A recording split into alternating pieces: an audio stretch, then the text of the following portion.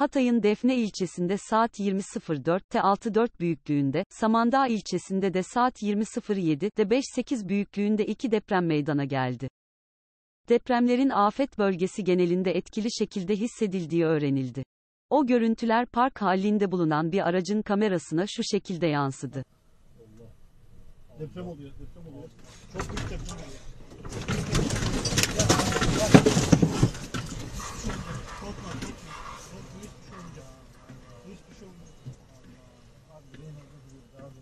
Dur, dur. Direkt, direkt verir verir miyiz?